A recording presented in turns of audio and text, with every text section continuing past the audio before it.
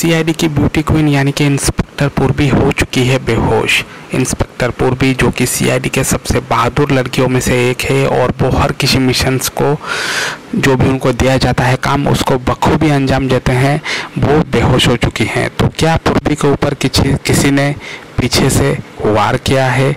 क्या पूर्वी की जान खतरे में है। सब कुछ आपको पता चलेगा इस वीडियो में। तो फटाफट से इस वीडियो को दिल से लाइक कर दीजिए।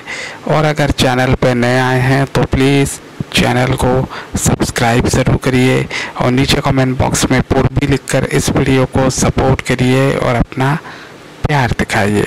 तो दोस्तों इंस्पेक्टर पूर्वी और इंस्पेक्टर अभिजीत। ये दोनों सीआईडी के जाने माने कलाकार हैं और पूर्वी के ऊपर इस बार हमला होने वाला है, जिसमें पूर्वी बेहोश होने वाली है। हालाँकि दोस्तों, पूर्वी अगर सामने से किसी के साथ भिड़ जाए तो उसको हराकर ही दम लेती है, लेकिन अगर पीछे से किसी सीआईडी अफसर पर वार हो जाए तो ये काफ़ी शर्मनाक बात है दोस्तों, क्योंकि पीछे से वार नहीं करना चाहिए। लेकिन अपराधियाँ ऐसा नहीं सोचते, उनको तो बस मौका चाहिए कि सीआईडी को हमें कैसे भी करके मात देना है। तो ऐसे ही मौके के तलाश में दोस्तों कुछ अपराधियों ने पूर्वी के पीछे से उनके ऊपर हमला करके उनको बंदी बना लिया है। तो क्या आप बच पाएँगे पूर्वी? सब कुछ आपको पता चलेगा सीज़न टू में।